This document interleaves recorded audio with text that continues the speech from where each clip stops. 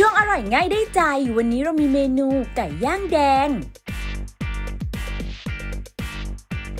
ใส่สะโพกไก่ลงในภาชนะตามด้วยผงหมักไก่สไปซี่บิ๊กวิงกาโลโบ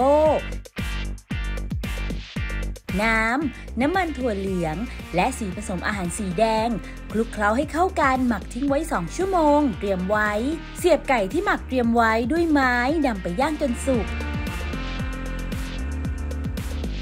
จัดใส่ภาชนะ พร้อมเสิร์ฟค่ะ เพียงแค่นี้ก็พร้อมรับประทานแล้วค่ะกับเมนู ไก่ย่างแดง